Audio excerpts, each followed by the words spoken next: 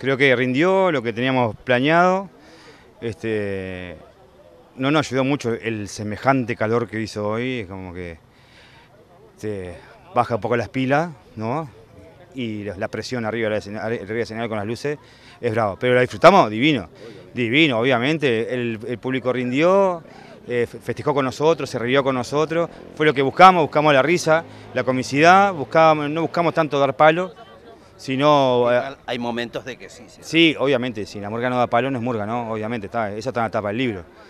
Pero no quisimos dar un espectáculo de 45 minutos de palo, ¿no?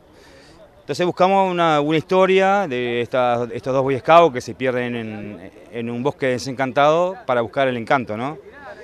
Este, pasando por varias zonas, este, buscando la, risa, la risa de situación este, y algún que otro chiste que mandamos ahí para, para levantar la risa fácil.